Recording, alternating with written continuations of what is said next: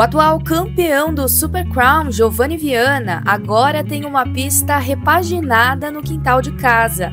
O skatista participou da entrega oficial dos obstáculos da competição no Parque da Juventude de Santo André, região do Grande ABC, em São Paulo.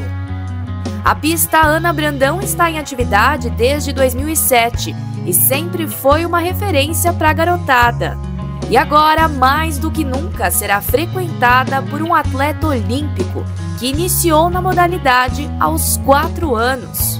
Ela nunca, nunca foi inaugurada essa pista, então a gente pegou ela bem, bem só com o bruto, só com as rampas, sem nenhum obstáculo. E a gente veio fazendo devagarinho, devagarinho, todo mundo aí, né? Não só eu nem meu pai, todo mundo veio ajudando. Então tá, tá recebendo esses obstáculos do Street League é muito legal por causa que o pessoal consegue estar tá, tá um pouquinho dentro do Street League, né? Como as pistas sempre eles fazem as pistas e demolem, então agora tendo os obstáculos o povo consegue ter um, um gostinho, né, que tá lá dentro. Porque aqui todo mundo conhece todo mundo, né? Então aqui a gente sabe cada jeitinho que todo mundo é, a gente sabe cada sonho que todo mundo tem. Então aqui a gente tenta ajudar todo mundo da melhor maneira possível. O pai de Giovanni, Valcir Galera, disse que montava obstáculos improvisados nas pistas, justamente pela ausência de locais apropriados para o filho treinar quando era criança. Nem sonho eu pensava nisso, é, não pensava que ia chegar tanto assim não. A gente, é, tudo que eu fiz, né, era, era, era por amor, porque o Giovanni era muito pequeno e era difícil encontrar obstáculo para ele, então, pela minha formação profissional, eu conseguia fazer. Então, mas nunca imaginei que seria assim, não. Nunca, nunca. Nem no maior delírio de pai eu não conseguia imaginar isso. Os equipamentos foram utilizados na final do Campeonato Mundial, que ocorreu em dezembro do ano passado, no ginásio do Ibirapuera. Os corrimãos, cuba e caixotes doados eram da pista de 670 metros quadrados que ajudou na consagração do título de Giovanni Viana, de apenas 22 anos. Fez um mapeamento de quais pistas precisavam né, dessa doação para receber esse legado da SLS.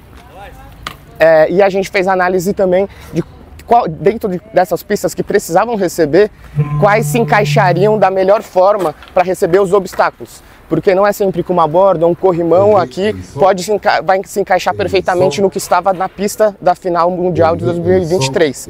Então a gente fez esse cruzamento de informações e de análise para poder escolher e felizmente a gente também teve a sorte né, de escolher a pista onde o campeão do, do SLS Supercon 2023 é, cresceu e anda até hoje.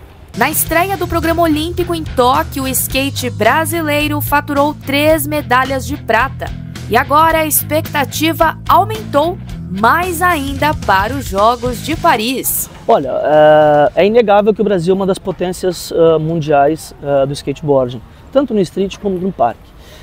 É claro que hoje, essa segunda Olimpíada para o skate, o nível vai estar mais alto, novas, novos skatistas apareceram, novos e novas skatistas apareceram, o que vai emparelhar um pouco a competição.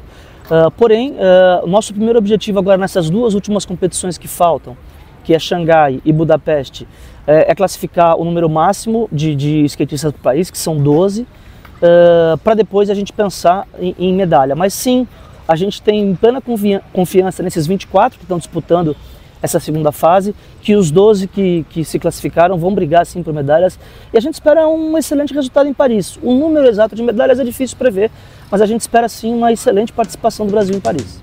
A menos de 100 dias para os Jogos Olímpicos, a nova geração brasileira que já ocupa a pista Ana Brandão já sonha em representar o time Brasil no futuro.